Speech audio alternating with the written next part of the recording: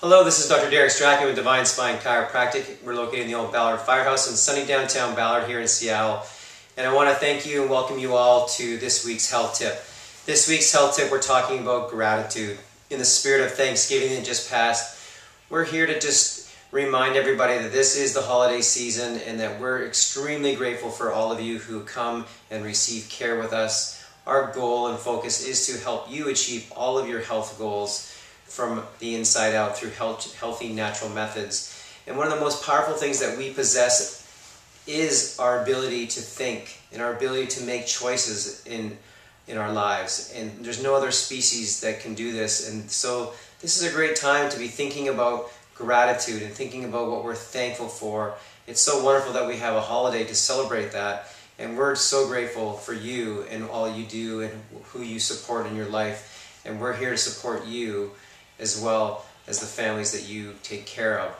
And so as we go through this holiday season, we're so committed to helping you not only reach your health goals, but to also make an impact on others in your life, that we're willing to donate money on your behalf to the Ballard Food Bank this holiday season by you simply referring a friend or family member to our practice.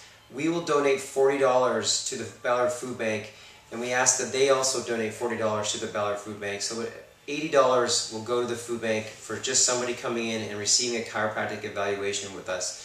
So that, that evaluation is no charge to it, but in exchange we're asking for them and we will also make that $40 donation. Our goal is to reach $1,500 in donations this holiday season in the month of December. We call it our gratitude month. We do it every year. Last year we raised $1,000 and probably about five or $600 worth of food and bathroom supplies. So we had about $1,500 to $1,600 worth of supplies. This year we want to break through $2,000 worth of money and, and supplies. Maybe even 3000 Who knows? Let's get crazy about this. So yeah, let's all open up our hearts and our wallets to helping this, this community. There's 1,200 families who, who are relying on the Ballard Food Bank to feed their families this holiday season. In the Puget Sound area, in from 2008 to 2011, there were 75,000 families that have been affected by hunger, and that equates to 440,000 children in our, you know, Puget Sound area that were suffering from not having enough food. So it's a big, big deal in our communities, and we can make a difference by simply giving 5, 10, 20, 30, 50, or $100.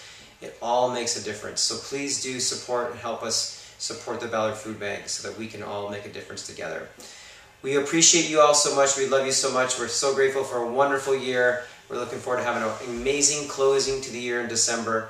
And please do let us know who you have in mind to help support the food bank. And I look forward to seeing you guys next time. Take care, everybody. Bye-bye.